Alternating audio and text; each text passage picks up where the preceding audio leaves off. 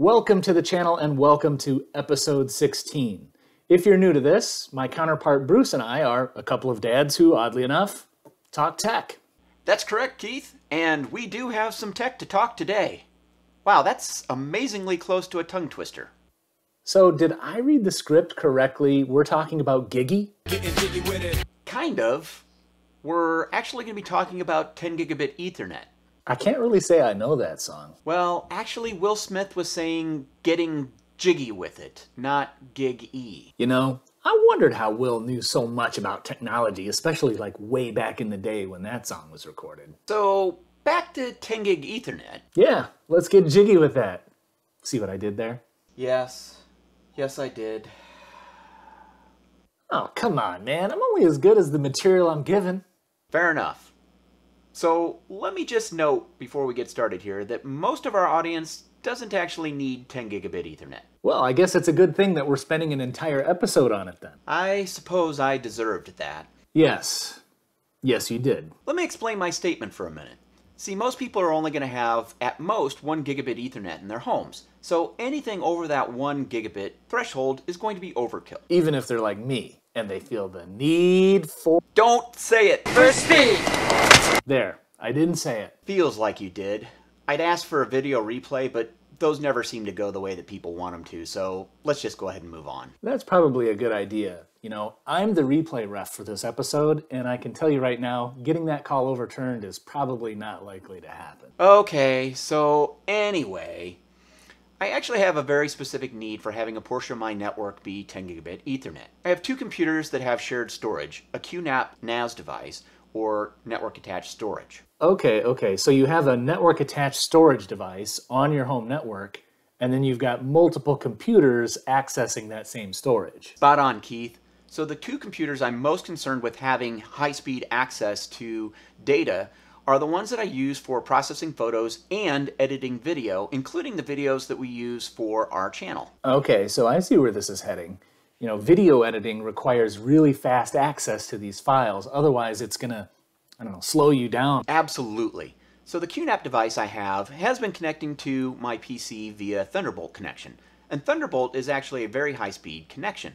The problem is the implementation on Windows or maybe QNAP or both is spotty at best. See, it actually makes the Thunderbolt adapter appear as an Ethernet adapter. So it's encapsulating that Thunderbolt traffic as Ethernet. They call that Thunderbolt to Ethernet or T2E. So what makes that so bad? So for most users, it's the complexity of the setup and the need to route all traffic, including internet traffic, through the QNAP device that's going to be the major issue. My system always had a pop-up message I couldn't make go away, and when my setup was correct, if my system went to sleep or rebooted, I'd have to reconfigure it all over again. Honestly, it's just not quite as easy using Thunderbolt with the Windows environment versus a Mac. And for me to complement a Mac, well, you know that's a big deal. Sorry, you're gonna have to warn me next time you say something nice about Macs. I almost fell off the couch and knocked my pineapple over in the process. So where does this get into the 10G Ethernet realm anyway? Well, the QNAP model I have ships with 10 gigabit Ethernet right out of the box. Now, it won't be as fast as the Thunderbolt, but from an easy use and still giving me high speed access with multiple systems perspective, it's going to be good enough. And from the benchmarks that we're going to discuss, I don't think I was getting anywhere close to the theoretical speeds that Thunderbolt is supposed to be able to achieve, at least not all the time. So 10 gigabit Ethernet should give me plenty of speed to edit directly from the QNAP device. So it sounds like, in theory, Thunderbolt 3 is a really fast connection. It should be up to like 40 gigabits per second. But in practice, with your setup, it's really not. Is that right? That is correct. Now, understand that the cable I have is really only rated for 20 gigabits per second, but even in the benchmarking that we're going to discuss, we're performing well below that metric as well. And to be perfectly honest, in the various setups that I've had to go through to make the Thunderbolt 3 work, I have seen better speeds at times, so I probably do have some type of configuration issue that I'm dealing with, but here's the thing, setting up a NAS and a PC together shouldn't be so difficult. As well, I shouldn't have to modify the configuration on a regular basis. That whole thing is very frustrating to me, so I can only imagine someone with less technical expertise trying to work with something like this, how they would feel. It probably should have been a hint to me that every review that I saw on the internet discussing the QNAP and a Windows system was really showing the Windows system being connected via 10 gigabit Ethernet versus the Thunderbolt 3. But I wanted to give it a try. So for me, in the end, the juice just isn't worth the squeeze. So that's why I want to look at 10 gigabit Ethernet versus Thunderbolt 3. So I know you're about to go into an unboxing and a setup discussion here in a little bit, but before we do that, I'd like to talk a little bit about who might be interested in you know a 10 gigabit setup. I know that uh, you know some people should be interested in this, but maybe some people should not be given the monetary investment involved. Yeah, thanks for bringing us back to the original topic of who would benefit from 10 gigabit Ethernet and who would just be wasting money since it is pretty pricey for even a small implementation. I would say that 10 gigabit Ethernet is going to benefit anyone that has two or more systems that they want to move large files between very quickly. Now, those two or more systems could be, say, two PCs or network attached storage and a PC. Obviously, if you have two PCs and network attached storage, that creates additional value proposition having that 10 gigabit Ethernet because now both systems have high speed access to that shared storage at the same time. So having that NAS and multiple systems accessing the same files gives you the ability to create workflows that allow you to move data much more quickly and be more efficient. Okay, so to be clear here, someone who just has one PC or maybe someone who has multiple PCs, but they're just, you know, surfing the internet or just streaming content, you know, from YouTube or whatever, Netflix to multiple locations. Even in that situation, they're probably not going to benefit from this. Is that right? I think for most scenarios, that's probably pretty accurate. It's unlikely that 10 gigabit Ethernet is going to create any real problems for people, other than maybe cabling distance limitations, 30 meters for that 10 gigabit Ethernet over copper. Where it is going to create more of an issue is on the financial side of things. So my small three node network was over $400 to set up because I needed to buy a switch and cabling and two network adapters because my PCs didn't come enabled with 10 gigabit right out of the box. Okay, good. Yeah, that gives me a good frame of reference. I suppose it's not entirely unlike other newer technologies where being an early adopter means you pay more. That's exactly right. I remember back a few years ago when gigabit Ethernet had a premium over 100 megabit Ethernet. Give it a few years and I'm sure we'll be laughing at the investment that it took to get 10 gigabit Ethernet today. Yeah, you got that right.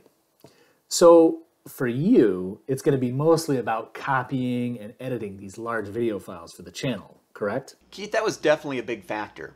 But also understand that in my personal life, I take about 40,000 photos of my kids plus video every single year. So having a device that I could store and edit and transfer for backups those files quickly was also an important factor in my buying decision. Well, that makes perfect sense to me now.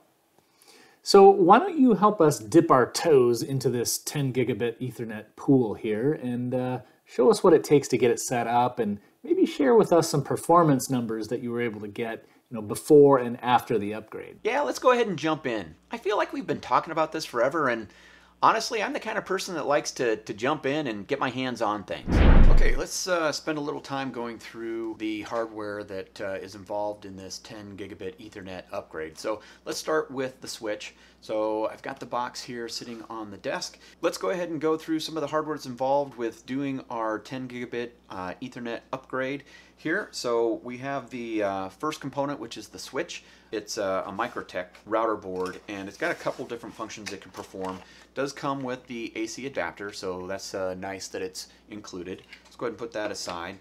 And then um, the switch itself is actually uh, super small, right? So uh, this is a five port device. It comes with one gigabit Ethernet uplink and PoE uh, capable uh, port. This is going to give us our uplink to my other switch. So the only devices that we're going to put in this particular 10 gigabit switch um, are going to be those uh, PCs, the two PCs that I want to connect, and the NAS device for my storage. Uh, so all the data that goes from our episodes that I edit, um, all of that stored in there. Plus, um, I've got it sectioned off so that there's a piece for the YouTube uh, data as well. All of my family uh, data gets stored on there. So all the photos that I take of my daughters doing, you know, various activities, volleyball and show choir and uh, band uh, competitions. So I take lots of photos, um, quite a bit of video as well, and that consumes a lot of storage. These particular ports, if you'll notice, I'm going to pull out one of the plugs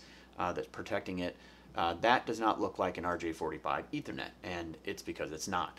This is what they call an SFP uh, port. So that requires either a module or a cable that's capable of being plugged directly into this particular port. Okay, so um, I mentioned that I had to get uh, 10 gigabit Ethernet cards because neither of my PCs have 10 gigabit integrated. One has 5 gigabit and the other has uh, just, uh, it's old enough that it's only gigabit uh, Ethernet. So in order to get that 10 gigabit access, I needed to actually purchase two of these cards. So I have two of the exact same TRENDnet uh, devices. They are also SFP uh, module based uh, cards. So these are not going to be over copper.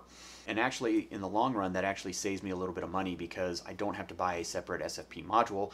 I'll actually just connect this uh, with a special cable that I ordered. I'm going to show you that cable in just a minute here.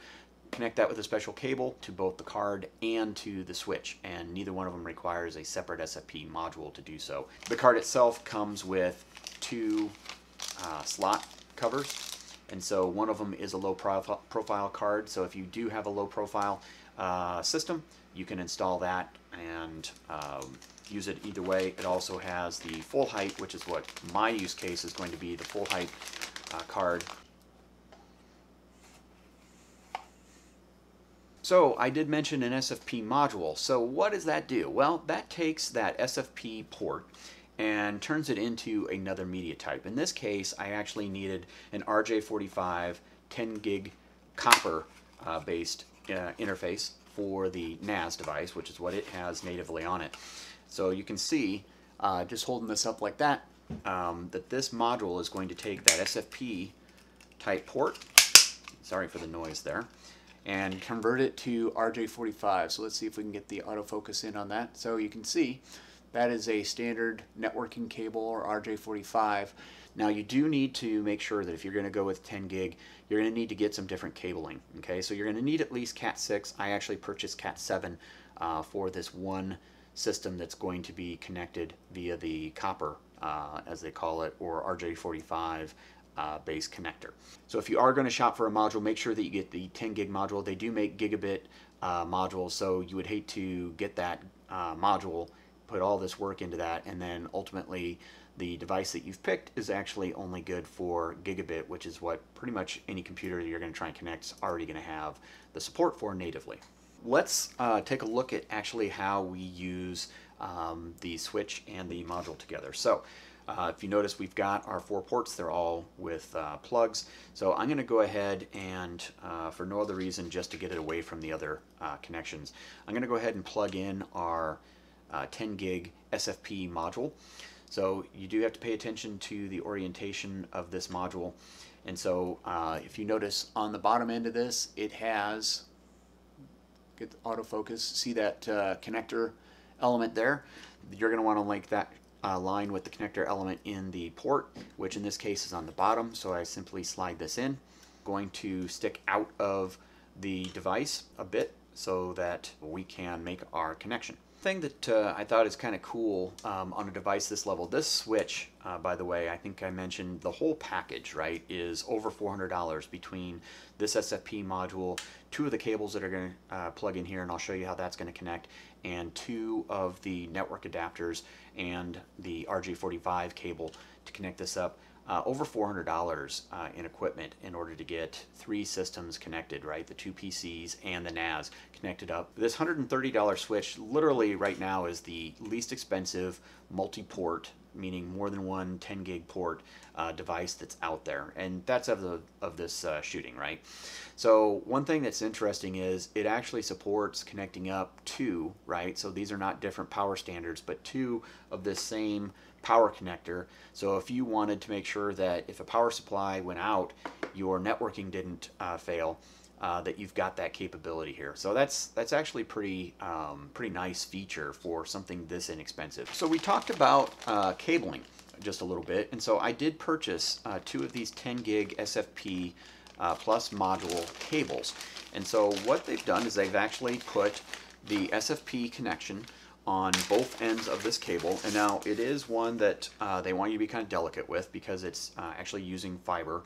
And the fiber uh, can either be a very finely polished uh, glass or plastic product. But either way, um, you should not try and run this uh, someplace where you're gonna have to make a hard angle or make a hard bend um, because it can damage the cabling.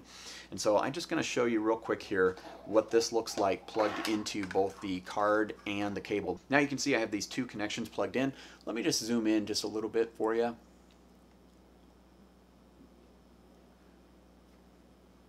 And see, there you go.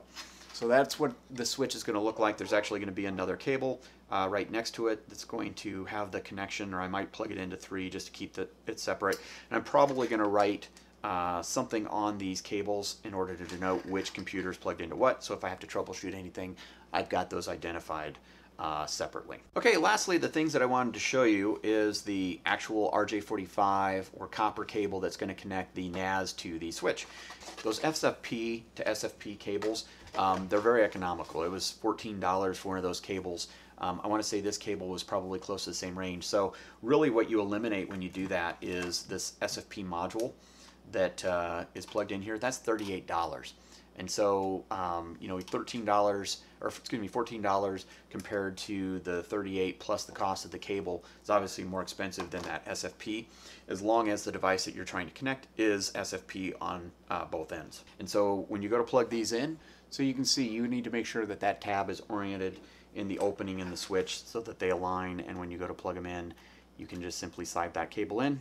Uh, with that I'm going to go ahead and get this equipment installed into my uh, two computers and connect up the NAS device and then run some benchmarking. Keith, so you may have noticed during the unboxing that I skipped the installation of the cards into the PC and some of the cabling setup for the sake of time. Yeah, sure, that works for me. But I do have to say, show me the numbers. Okay, so I did some benchmarking prior to the upgrade, both for the machine that had the gigabit Ethernet connection as well as the Thunderbolt 3. As you can see, the numbers look good for the Thunderbolt 3 and 10 gigabit Ethernet. I believe the right numbers for the Thunderbolt reflect the T2E overhead, and this performance is actually on a 10-core i9 processor system. The other computer that we're going to discuss is an i7, and I'll be sure to highlight when we're talking about the i7 versus the i9 performance. Okay, so speaking of the i7 versus the i9, the i7 isn't built nearly as beefy as the i9 is, and the i9 is much newer. It's a 10-core i9 9900X versus a 4-core i7 4700K. Obviously, the gigabit to 10 gig upgrade was huge for this system. Okay, on the first random 4K results, I'm not sure these numbers aren't being influenced by something other than the network. I also found it interesting that the 10 gigabit Ethernet write numbers were faster than the read. That's usually not the case, but sometimes you see some curious results when benchmarking. I'm not trying to hang my hat on specific numbers too much, rather than a performance range, which definitely mostly shows some big improvements. Okay, so let's put these numbers into context a bit. I mentioned fast SSDs and slow NVMEs. Well, I actually have a fairly fast SSD, SATA interface, in the i7 system, and a fast SSD NVMe in the i9.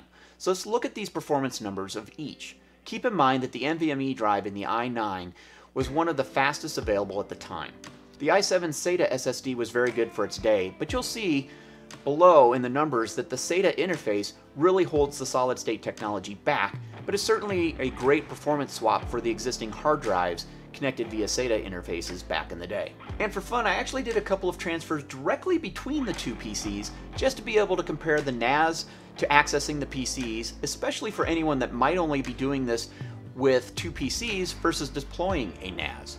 I've already given the benchmark numbers for each system's local disk, so this is really about the network connection and the speed of the disks in the systems. Keep in mind that the SATA SSD will be a limiting factor for each transfer in both the read and write speeds relative to the i9's much faster NVMe.